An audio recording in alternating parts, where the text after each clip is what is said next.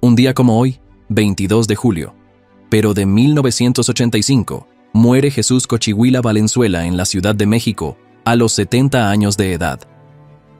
A pesar de la infinidad de jugadores cubanos y norteamericanos de color que llegaron a la Liga Mexicana de Béisbol en la década de los 40, el nativo de Culiacán, Sinaloa, fue uno de los mejores lanzadores mexicanos en la década de los 40.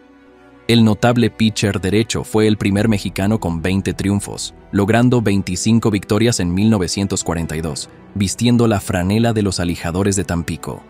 Él es Jesús Cochihuila Valenzuela, inmortal del Salón de la Fama, clase 1973.